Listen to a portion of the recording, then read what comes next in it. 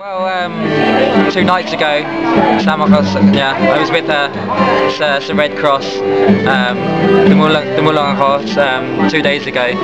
But uh, she's she's working, she's non-stop, she's um, she's helping with the packing, relief goods, donating and distributing and things like that. So she's she's uh, even even closer she's um, she's on a different. What can you say about her being a, a Red Cross, seeing that that your girlfriend is so generous in doing that? I think she's she's a, she's an inspiration to, to everyone. She's um, I look up to her, I admire her and everything she does, and she, she affects people in a positive way. And and just by her leading by example, it encourages other people to help. And um, and see all the hard work she does. So um, I'm very proud to be with with uh, someone like that, someone so special, and um, and it, it, it helps me in a positive way. Uh, do you think that's one thing that you you like Angel most? Yeah, definitely. I mean, one of the first things, uh, before I even met Angel, people were telling me how, how nice Angel is and what the things she does, and um, and then you don't realise till you actually meet her and you see what she's actually doing, how, how hardworking and how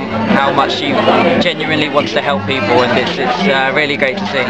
Last night uh, we we watched your Ikaw Na with Okay, Ikaw Na that you, to, you told uh, Tito Boy that you want uh, a garden, Garden wedding. wedding, yeah, why why garden wedding? I don't know. uh, If I see it on TV, parang mas maganda pag may, may garden and may white um, may white wedding sa garden. I don't know. It just it just looks beautiful and um, something that it, I, I I'd like.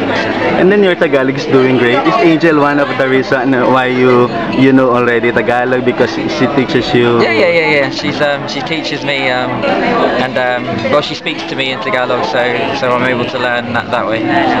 What what can can we expect on the 24th? This coming Um, I think competi- com- competition. I think uh, must mas prepared to see James ngayon since the last year, and um, I think it's going to be more competitive and um, more intense, and uh, it will be the level will be higher, so it should be good. Is there any pressure that you won last year and then you you will win I think again? more this- pressure with James. Obviously, if he loses, that's two in a row. Um, but I think if I if I if I lose, it's still one-one.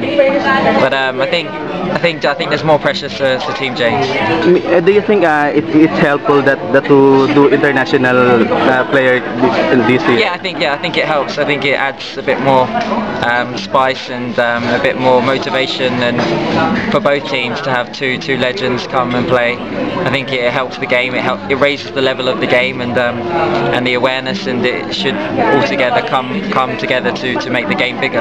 Is there any artist or like like last year Well, there's uh, Boys Night Out and there's Daniel Matsunaga Fabio Ide. Um, Fabio Ide and Daniel Max are actual football players, so so it's, um, it's, it's easy for them to adapt. Um, but having the Boys Night Out, it should be good to have them on the field and off the field. Thank you. Thank you.